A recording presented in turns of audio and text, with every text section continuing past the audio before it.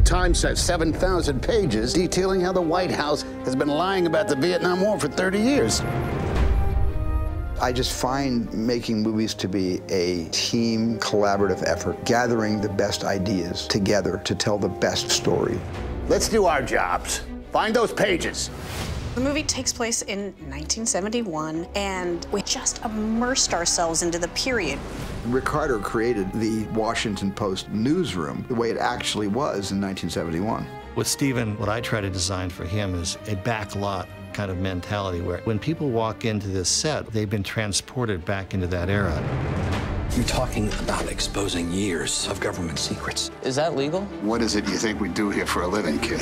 The day that Tom and then Meryl walked into the newsroom, jaws dropped. Because that kind of actor becomes the character.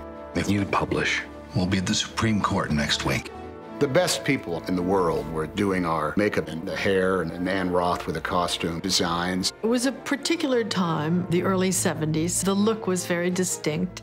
And that was all about color temperature and coordinating Ann Roth's brilliant costumes with Janusz's lighting. If we don't hold them accountable, who will? We can't hold them accountable if we don't have a newspaper.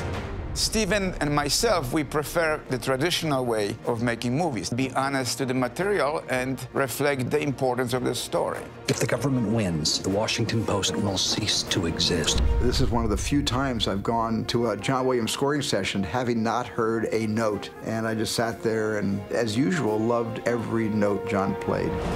I've never been in a newsroom, but it must have been quite a noisy environment. So I thought, well, how are you going to get any music in a newsroom? And actually, there's quite a bit of music in the film in the newsroom. What will happen if we don't publish?